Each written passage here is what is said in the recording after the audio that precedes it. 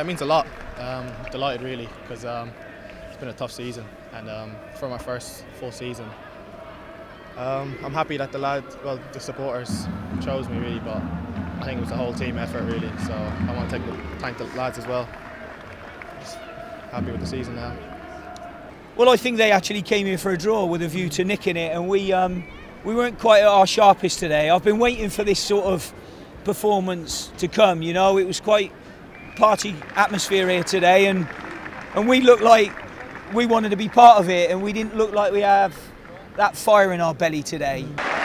Yes, um, I'm, obviously I'm really pleased with it. Not quite the performance we were we were looking for today. It's taken a bit of gloss off it, um, but obviously I'm really, I'm really proud to be given that by the uh, the supporters. They've been great to me all season through the tough times as well, and um, obviously they, they've stuck with me, and I'm, I'm very grateful.